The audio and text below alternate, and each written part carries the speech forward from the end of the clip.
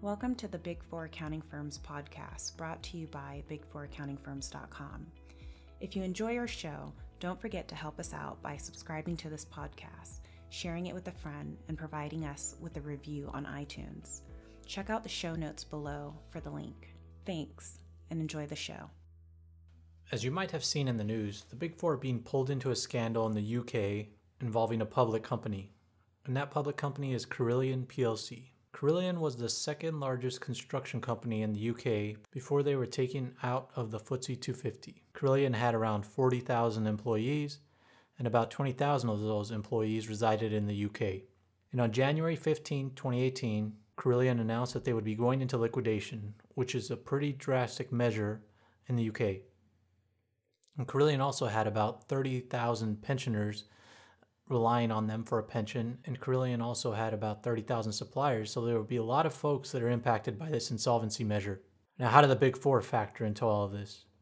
Well, first off, KPMG was the auditor of Carillion since 1999. So, of course, it's kind of weird that KPMG noted no deficiencies and raised no red flags when the company issued a profit warning last year, and now the company is going under. So, the British regulator, the Financial Reporting Council, also known as the FRC, which is similar to the PCAOB in America, will be investigating KPMG's audits of Carillion for the past few years. This isn't the only bad news, though, because apparently KPMG has been losing a ton of public sector work in the past few years because of their scandals around the world. As you might recall, KPMG has had some difficulties in South Africa, and they were also fined over their audit of Rolls Royce, which was also investigated by the FRC. So KPMG comes out of all of this looking extremely terrible. And KPMG especially looks terrible in Europe because of these scandals. And this is not good because there's mandatory audit rotations in Europe. So when KPMG's audits come up for being considered for a rotation, the larger companies around the world will likely choose to rotate away from KPMG to avoid getting a bad reputation from being associated with KPMG. But this story isn't just bad for KPMG because more news came out today that all the big four firms were feasting on the carcass of Carillion, if you will. As more information comes out of the liquidation of Carillion, it's become apparent that all the big four have been earning hefty fees. The big four have earned 71.6 million pounds from Carillion since 2008. 20.2 million pounds was earned by KPMG for their audit of Carillion. 12 million pounds was earned by Deloitte for consulting, and 18.3 million was earned by Ernst & Young. But the most profitable Big 4 on Carillion was PwC. They earned 21.1 million pounds. Now, how did they earn all that money? PwC advised on all three sides of Carillion. They advised the company itself, they advised the company's pension funds, and they also advised on the government contract side of the engagements. And now PwC has been appointed to help with the liquidation of Carillion so they are set to earn even more money. And unfortunately, people aren't turning a blind eye to all these fees. They are looking into how the Big Four can earn all this money on a big company like this without spotting any accounting irregularities when there obviously were accounting irregularities here. This really just goes to show that the Big Four don't care whether they do a good job or not because they make money from a company whether or not they get the financials right. If a company goes bust, the Big Four could care less because they will reside over the liquidation. If the Big Four get fired from an engagement, they don't care because some other accounting firm will mess up somewhere else and then they will get a new project on that company. The Big Four are getting wrapped up in more and more scandals and they seem to care less and the impacts on them don't seem to be bothering them at all.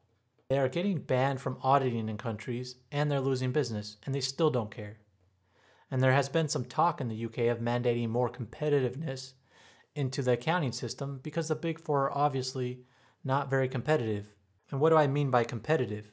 Well, they're obviously not holding themselves to a high standard. The companies are paying them millions of dollars and they're missing all kinds of mistakes. So even though they're making millions of dollars, they have nobody to compete with to improve their work. They don't hold each other to a high standard because there are only four of them.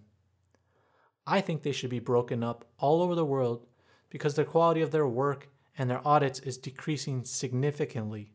And in cases like Carillion, you have people that are drawing a pension that might not get the pension. that might lose out on money. You have people that work at suppliers of Carillion that might be out of the job, and those companies might be affected and they might go under as well. All four accounting firms were involved in Carillion somehow, and not one of them spotted a thing, yet they all call themselves professional accountants. What professional accountant doesn't notice a billion dollar mistake? I'll tell you what kind of an accountant. An accountant that is blinded by the greed of a multi million dollar contract and doesn't have any competition. Wanted to take a quick break today to tell you about our Big Four interview course. Did you know that only 4% of candidates get into the Big Four?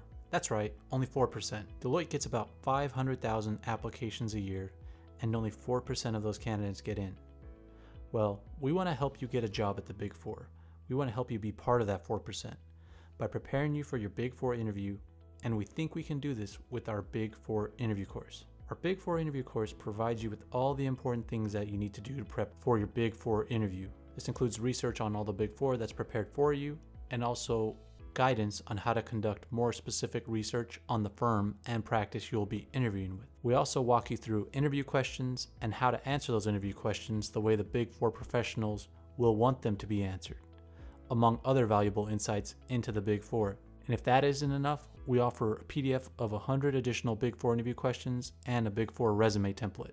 You've invested in your accounting education and you invest in your accounting exam, whether that's a CPA exam or another course. So why not invest in a Big Four interview course to help you nail the Big Four interview?